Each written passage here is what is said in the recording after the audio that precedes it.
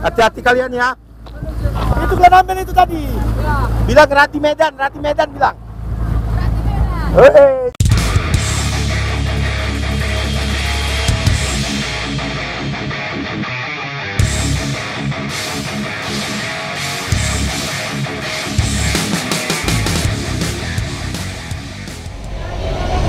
Hey, kembali lagi dengan Radi Medan Cikuy Cikuy Cikuy. Oke sahabat semua, sekarang kita akan berangkat ke Danau Toba. Kita mau update kondisi terkini Danau Tobanya. Oke, lihat nanti di YouTube eh, channel saya Radi Medan Cikuy Cikuy Cikuy. Wuh. Pak lewat kami ya. Eh, ya. Nah, mana Pak? Mana bus kita Pak? Kita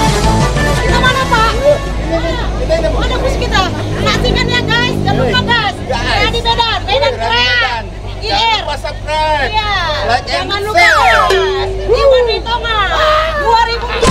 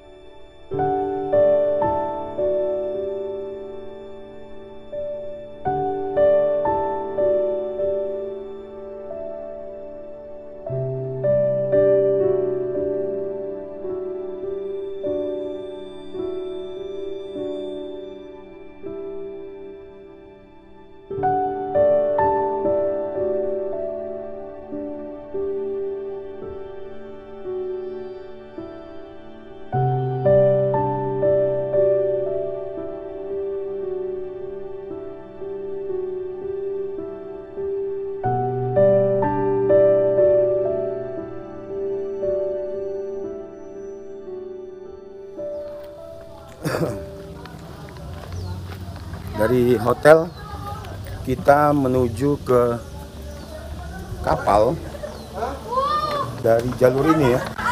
Ini jalur khusus ini dari yang dibuat pihak hotel untuk bisa akses langsung menuju kapal penyeberangan.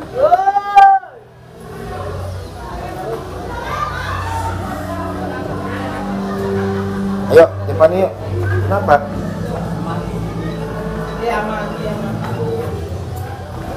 Panjang juga tangganya ya.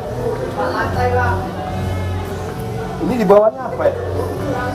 Apa dia juga mesinnya ya? Oh, karaoke. Oh. Gantian, gantian yang ngangkat apa? Gantian, capek? Itu gantian, kawanmu. Nah, ini karaoke. Karaoke ibadah. Enggak karaoke. Karaoke itu. Karaoke memang kaki ibadah. Oh, pagi ibadah. Malam karaoke.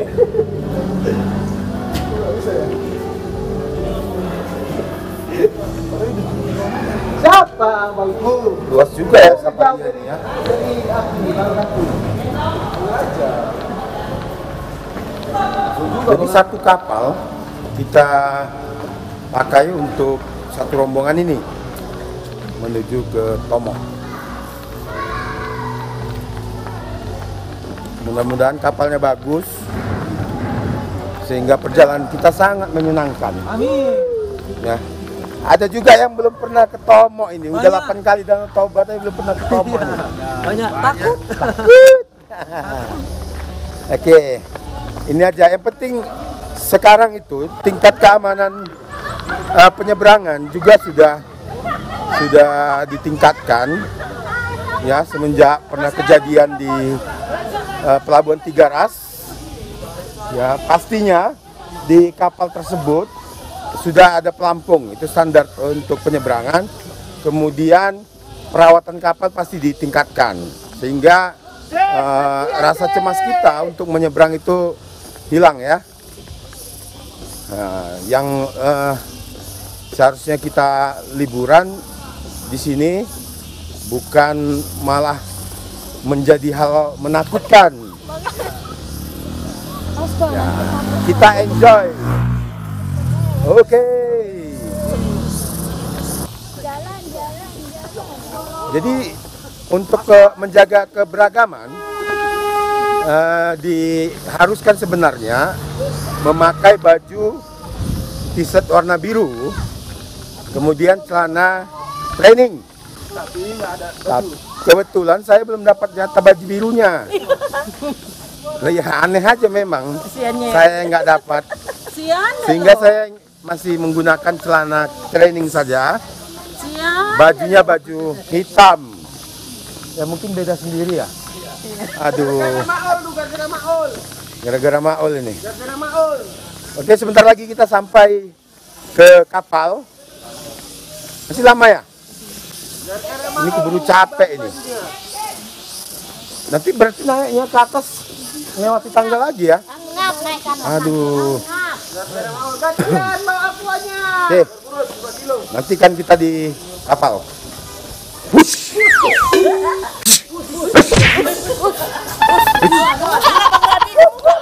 Hah? Coba, coba, coba. Kita sudah sampai di pelabuhan penyeberangan.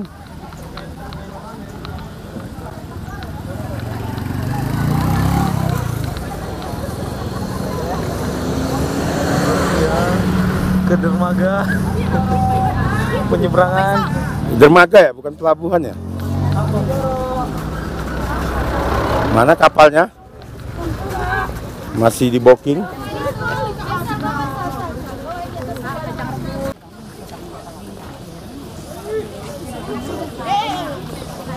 Dadah Pani, dadah. Pani, Pina. Pina, Pani. Oke, kita sudah naik kapal. Ini kita charter. Kita cari posisi di dalam. Nah, kita mau ngecas. Mana.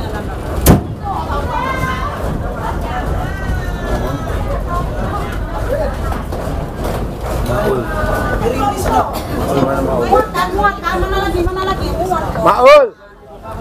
Maul mana Maul? Sini Ul, ayo. Kita mau ngecas. Hah? Bisa. Hmm. Kondisinya ya dalam kapal ya. Jadi kapal ini tidak bertingkat, dia cuma satu. Rata-rata bertingkat.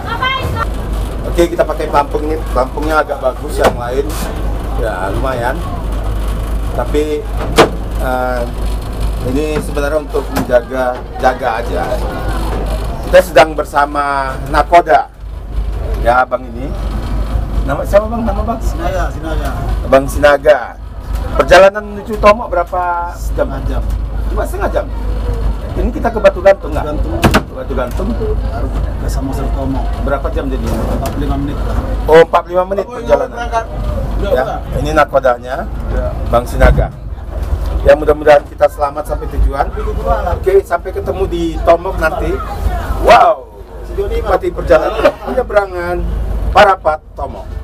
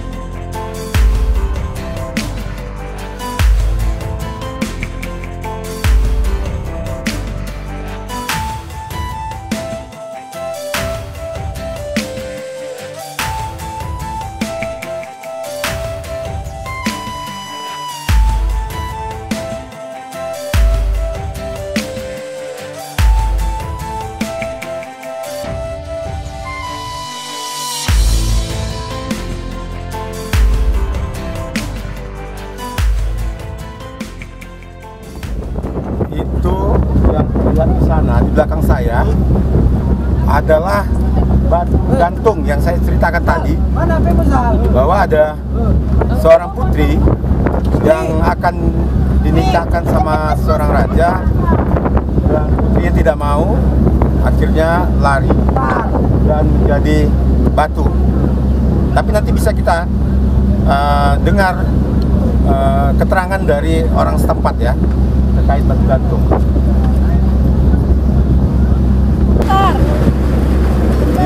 Adin, naik Adin.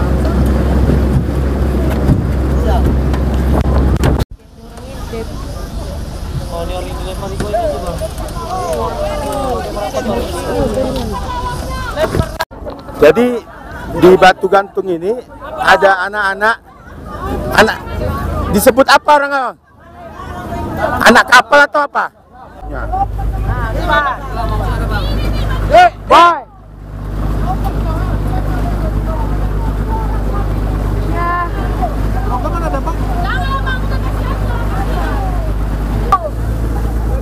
Ini nih ya. Ya ini ya. Ini Pak, ini jatuh Oke. Pak. Iya iya iya. mantap mantap. Hati-hati kalian ya. Itu ambil itu tadi. Bilang Rati Medan, Rati Medan bilang. Hei, cikoy.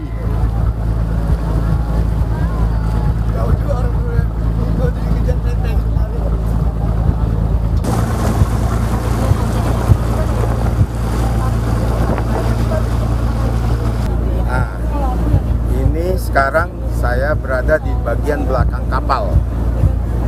Di belakang sana terlihat adalah Parapat, daerah Parapat yang eh, tadi malam tempat kita nginap. Sekarang kita menuju Tomo. Kelihatannya masih dekat, tapi kita sudah memakan waktu kurang setengah jam di atas kapal. Ya.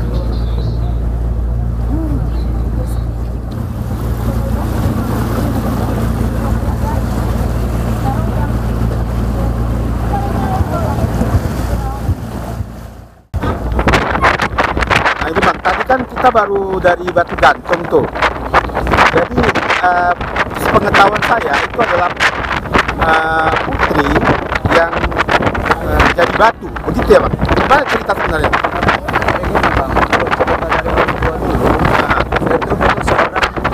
Gadis, gadis, gadis yang mau dia anak gajah paling tercantik dari kampung ini, di kampung apa namanya?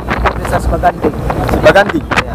Ah, Nah, dia dulu mau dijodohkan sama anak raja, itu dari keluarga satu keluarga juga. Jadi dia nggak suka nengok anak raja ini, ah, karena anak raja ini cacat. oh, cacat. Nah, jadi karena nggak sanggup lagi dia mendengar omongan orang tuanya ini, dengan paksaan dari orang tuanya ini supaya mereka dijodohkan, Iya ya. dia ngambil kesimpulan daripada aku daripada aku sama dia lebih baik aku bunuh diri katanya. Ah, Nah, itulah pikiran dia, pikiran si perempuan ini. ah, Nah, jadi dia naik dari kampung sebelah, itulah namanya desa Sebaganti. Dia naik dia naik ke atas batu itu. Atas batu itu rencana dia mau lompat ke danau. ah, Nah, rupanya kakinya terikat. Oh, kakinya terikat dengan apa daun-daun apa itu yang akar-akaran itulah ya. itu. Nah, dia tergantung. Jadi dia tergantung. Nah, jadi datanglah raja ini disuruhlah semua ajudannya, pasukan pasukannya mencari dia. Ah, ah. Nah, udah capek orang itu mencari, rupanya dia bawa ayamnya. Dia bawa ayam sama anak ayamnya, sama anjing. Yang si gadis itu, Nah, si putri gadis itu ya. ini, Anak gadis ini kan. Nah, dia lompat, ditinggalkannya anak ayamnya di dalam keranjang di atas. Ah, ah. Nah, jadi ketak, setelah capek orang itu naiklah ajudan raja ini ke atas batu itu. Ditengoknya lah ada anak ayam. Ah, Nah, ada anak ayam, anak ayam, induk yang ada, sama anjingnya. Nah, si anak gadis tadi melompat dia ikut anjingnya ini melompat. ah, Nah, jadi sama ayamnya dibawa induk induk induk ayamnya dibawa. Itu dia jadi setelah udah dapat anak ayamnya ini dipanggillah semua apanya ajudannya ini biar turun ke bawah turun orang itu ke bawah lihat orang itu ke atas dia udah tergantung Ah. Nah, jadi dipanggil lah ini raja ini, bapaknya ini, orang tuanya ini. Dipanggil lah. Jadi karena udah karena Nah, terus? nah karena udah malu tadi si raja ini, orang tua si anak gadis ini, karena udah kesal dia dikutuk lah dia di situ. Hmm. Kau udah karena dibilang orang tuanya adalah kau udah memalukan kami keluarga. Kau udah mem- memalukan keluarga kita semua. Jadi apa boleh buat?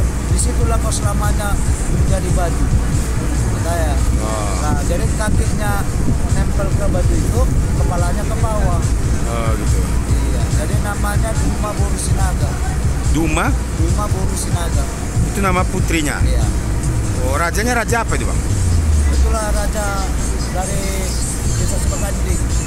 Oh, Desa Sebaganti.